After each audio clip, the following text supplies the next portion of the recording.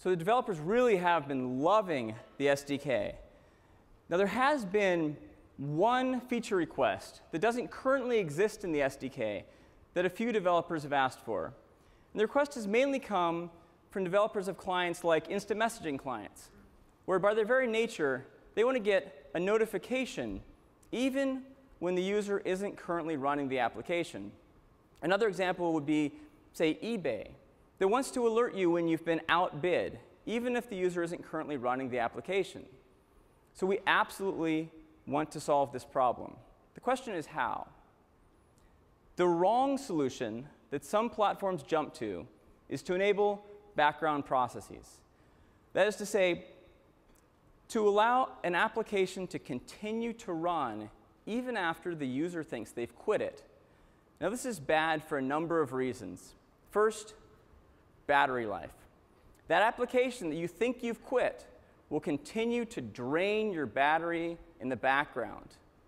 The second is performance. When you're running an application, you want that foreground application to be as responsive as possible.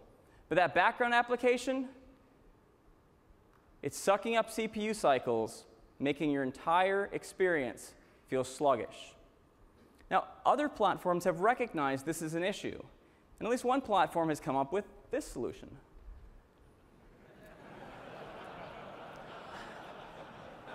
a task manager. Because, you know, like a game, it challenges the end user to brush off their computer science skills, figure out which of those background processes is eating up your CPU, and then manually kill it. But don't kill the wrong one, because now you're in trouble. It's, this is nuts. Uh,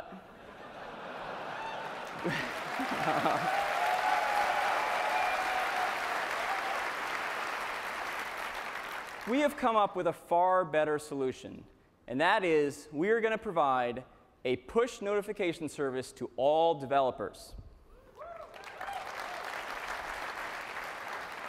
Here's how it works. Let's say you're running an application like an instant messaging application. As you run it, it's connected to your server, so you can send across whatever messages you want. But when the user quits the application, there's no longer this connection to the server. That is where the push notification service comes in. We will maintain a persistent IP connection right to the phone.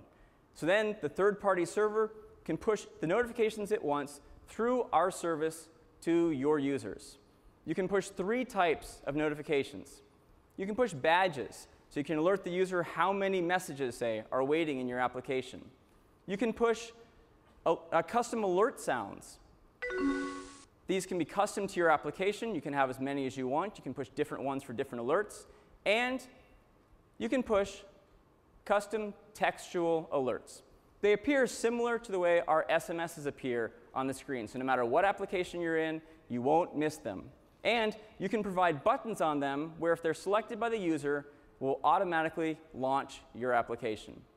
The great thing about this design is it scales. It scales to many third-party services.